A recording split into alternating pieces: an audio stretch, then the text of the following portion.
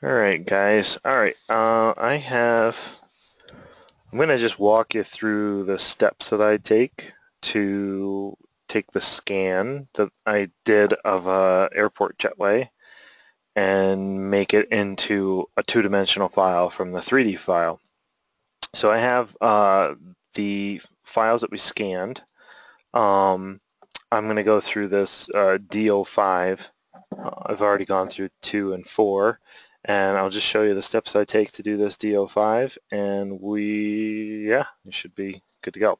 So I'm going to just open this up, we got all the files that it creates, the 2D DXF, 3D DXF, text files, CSV files. I'm going to go with just the straight old DWG file and if we just drag and drop this into AutoCAD, it's going to open up that file um, I'm going to zoom to extents. So if I double click on the mouse wheel, it's going to zoom to extents and you'll see a down plan view of the jetway that we scanned.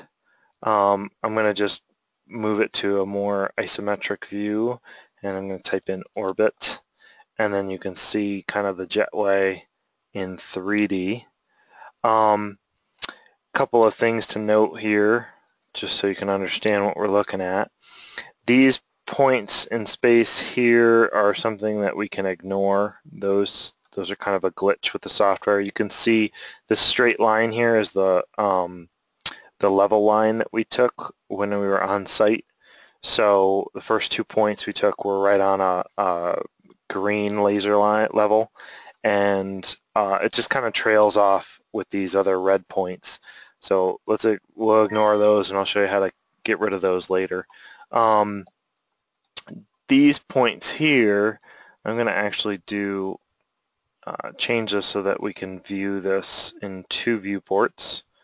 And we're going to do it, oh, that's not what I wanted to do. I want to do viewports 1 and viewports 2, and we're going to make it horizontal. And that's nice about this is if we look at this from the top, you can see all these numbers and X's. If we look at this from the side, those numbers and X's are just lines because they were generated in a top-down view. So kind of help you figure out what's what. So, and in this view, see, I just highlighted 0.73, and 0.73 is highlighted down here. So, anyways, so these points were the uh, the vertical separation between the segments that we were measuring. Um, you can see this is kind of like the start of uh, everything. And what we want to do is we want to just take basically if you look at the floor plan we want to take each side uh, that we scan. So here's one side and here's the other side. And we want to isolate those uh, and create two-dimensional elevations from this three-dimensional data. Um, so the first step is basically me setting up this uh, these two viewports. Uh, the next step is kind of getting some stuff isolated. Now these this line here is really just connecting a couple of things, so I'm going to delete that. Um, actually, the first thing first thing I want to do is I don't want to be working in the file that just opened up here, which was, sorry, which, where is it? I had someplace, oh. I don't want to be working in this file. I actually want to save as and create a new file. And it's just a, a AutoCAD habit that I have. So I'm going to go up to File and I'm going to go Save As. And I'm going to rename this as a new file and I'm just going to go to my root folder. And I have, you can see I've already got some worksheets here for the other ones that I worked on. This is gate D5. So I'm going to say worksheet number one, that's fine, save. Now anything I do here um, won't be affected with uh, that first file that we, we opened. If I screw this up, okay, if I screw this up, then it won't uh, matter.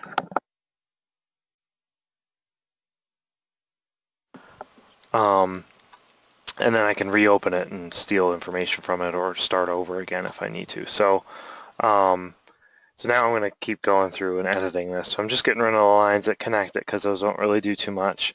Again, this is kind of like a glitch, so I'm just going to select similar and you can see they all highlighted and they're all in that, that plane and I'm going to right click and hide them so they're not showing up. Now I want to isolate each side. So I'm going to start with the side, uh, this side. So I want to get rid of this side. So if I right click and hit isolate, then that just cleaned everything up. If I undo what I just did, I'll show you what happens. See how this is pretty clean and nice, just one line going through. If I undo that, and you can see these are kind of overlapping, so that's why it's nice to be able to isolate these. Um, so hide, and now we can see what's going on. Now, these are the points that I was talking about. Those are blocks. Um, those are made when, when you create the file. Um, or when the disto creates a file, they're kind of self-generated. Um, I want to make it so that those are a point, not an X. Um, and the way you do that is if I go to block editor, which is BE, we can see there's two points here. Um, there's just a point and it's just a crosshair. And if I type in point or PO and select the middle of this crosshair and then delete these two lines, what's left is just this little point. And when I close it, all those X's are now turned into those little points. I'm going to do the same thing with this guy, just a different style. Oops. And do PO for point, click the middle, delete, make sure that point's there, and then I'm going to close it save the changes. Now you can see in the elevation that we have going on here that those are now just points in space. They're not X's. The other thing that I don't really care about to see is if you, you know, if you're seeing all these little red dashes, that's all these numbers, which we don't really care about. So I'm going to select similar, and you can see they all highlighted. They've all highlighted here. And I'm going to right click and say hide because we don't need to see those. So now I've just taken that, you know, the 3D scan that we had and I've isolated this single wall and I've isolated the points that I want to keep. And now I'm going to just take all this information and I'm going to copy it over in a in a certain a certain increment. So I like to keep things uh, good measurements so that if we needed to copy more information, it'd just be a matter of highlighting it and moving at the same increment. So I'm going to say 1500. So now I've just copied, so now there's two. So just copy the geometry from this over. And if I were to go back into this isolation and end isolation, you can see all of that data that I hid before is now back. But all the data that I wanted is now copied over here without that extra data. So it's just a AutoCAD thing, clean thing to do. So next thing I'm going to do is grab all this geometry. I'm going to hit X for explode. That's just going to take all the blocks and make them go away. I'm going to hit do it one more time because that's just a thing, nice thing to do. So now when I highlight everything, the geometry we're looking at are just lines and points, which is all I want.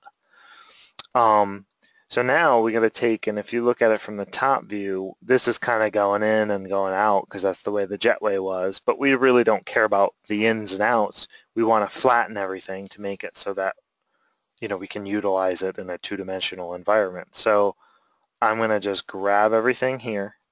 You can see, you know, that we have the two viewports. One's looking at it from the front, one's looking at it from the top. So when I highlight one, it highlights the other. It's kind of nice to visualize what's going on. So I'm going to highlight everything and say flatten. And it's going to say, do you want to remove the hidden lines? If you say yes, all these points are going to disappear because it's, for some reason, thinks it's a hidden line. So I'm going to say no. So I'm just going to hit enter. And you'll see in the top view, everything has just flattened to the same plane. And in this front view, nothing's really changed but now we can start working with it in the two-dimensional aspect of things. Last thing I'm going to do before I move to the other side is I'm just going to make all these, oops, by layer, and I'm going to make all these zero. So this is just the layer of which they are, and now when I import them into the final drawing that they're going to be in, it's not going to pull in all these extra uh, layers that I don't really care about. So this is uh, the, the one side, and now we're going to do the same thing for the other side. So the only thing that's slightly different is I'm going to do the same idea. So I'm going to ice, select similar, right click, and isolate and hide those points because we don't care about them. But on this wall, I need to highlight this whole side, but I also would like to highlight this, uh, this horizontal line, which is my level line. Um, and that's, you can see it's highlighted on this side because that's the side, only side we took it on. We didn't take it on both sides.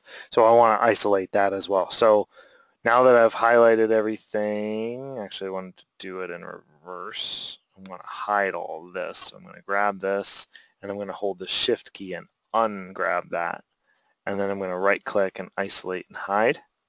So now you can see all I have left is the horizontal line and now this is the opposite side. Um, so I'm going to do the same thing with this. I'm going to copy this over and to the right by a certain increment, say 3,000 inches or units, but 3,000 is, I'm working in inches. So, um, and now I can go, oops, only thing before I copied that over is I wanted to hide these numbers, so we don't care about those. So let's isolate or select similar and isolate and hide. Now I can take everything here, copy it over 3000. So I'm just hitting CO for copy, 3000. Now I can go back into the isolation area and unisolate everything. So you can see uh, this view has gone back to what we originally started with and this this is the flattened first side and now we're going to be working on this side. So I'm just going to get this in our sights. I'm going to do a same thing. Now because we edited the blocks from before they're already done so we don't need to do that again. But the thing that we do need to do is and I'm going to make this a little bit different is I'm going to um, is we need to rotate this 180 degrees uh, three-dimensionally so that we have, so both, you know, so that it's laid out correctly uh, in the two-dimensional world. So I'm going to highlight everything here and I'm going to hit in 3D, type in 3D rotate and why does it ask me for a reason? That's not what I want. Grab it, oops, grab it and type in 3D rotate. It's asking me for something different than I'm used to. It's funny. Um, one more time. There we go. It's asking me for a base point, but I don't really want a base point. I just wanted this uh, gyro gizmo thing to pop up. So I want to rotate it in the horizontal plane, and I want to rotate it 180 degrees. And now you can see from, and I want to go back to the top view because I want to show, I want to see it flatten when next when I get that done. So now we got it like kind of opened up like a book. Um, and this is the, you know, if you were going up the ramp towards the airport, this would be the uh, the right side of the ramp, and this would be the left side of the ramp, which is exactly how I want to portray it in a draw in a two-dimensional drawing. So now that that's all done, I'm going to just grab everything here and do that explode again. So X for explode. Do it one more time just for kicks. Let's make sure we got it all. And now I'm going to flatten it. So I'm going to highlight everything and I'm going to type in flatten. And I'm going to hit, do you want to remove wooden lines? I want to keep it at no, so I'm just going to hit enter again. And you can see in the plan view, everything has flattened and it has flattened to the same um, plane as the other one that we flattened. And last thing I want to do is make this layer 0. So now we have isolated the two sides. We've made them two-dimensional. Now I want to just take them from this drawing and put them into a, a new drawing so that we're not working in this three-dimensional environment, we're working in a two-dimensional environment. So I'm going to uh, do one thing first to make my life easy if you can see, there's a little Z here and a little X there. If I were to rotate this in an isometric view, you'll see my X and my Y um, are kind of the horizontal and my Z is vertical, um, which in real life that is the way it was, but I want to make it so that my uh, z becomes my y.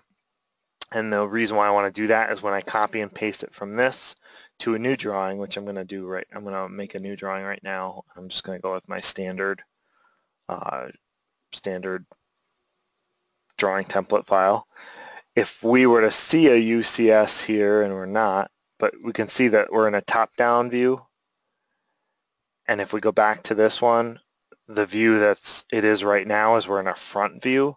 So if I were to copy this from this file to this file, what we would get are just lines. What we would get is this view, which doesn't help us. Um, so I want to go into here and I want to type in UCS, which is Universal Coordinate System.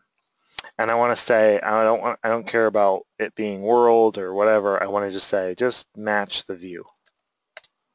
And now you can see now this is a Y and an X. And what's going to happen, and, and this has changed to top view.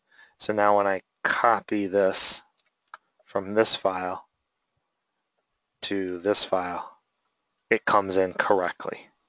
The other thing that's happened is uh, those, if I orbit this, those, uh, oops, the points that we had as just points in the other draw drawing have come in as uh, the points in this file. It's really not a big deal.